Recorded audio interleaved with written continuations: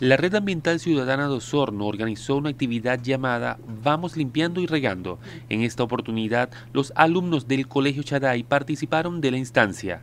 La finalidad de esto es mantener los árboles que han sido plantados durante los últimos años. Estamos acá en el Parque Chuyaca en una actividad que se llama Vamos limpiando y regando, que la Red Ambiental Ciudadana de Osorno viene organizando hace aproximadamente siete años y en el día de hoy estamos con el Colegio Chaday, al cual ya hemos estado haciendo muchas actividades ambientales desde hace bastante tiempo.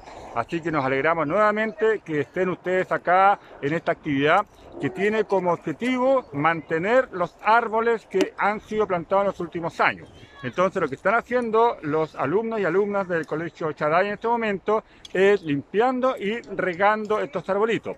Pero la idea es que el agua, el riego del agua llegue directamente a la raíz lo que va a permitir que por lo menos durante 15 días estas raíces, estos árboles que están siendo regados en este momento tengan humedad. En este sentido, Becerra recalcó que es un trabajo importante para que se fomente el crecimiento y desarrollo de estos árboles y a largo plazo será un beneficio para la comuna. Por otro lado, los establecimientos educacionales siempre han participado con las actividades ambientales de la red en función del bienestar de la comunidad. Nos encontramos en el Parque Chuyaca con el quinto año básico del Colegio Chaday, eh, participando en la actividad Vamos limpiando y regando de la red ambiental ciudadana. Estuvimos limpiando los árboles, eh, regándoles.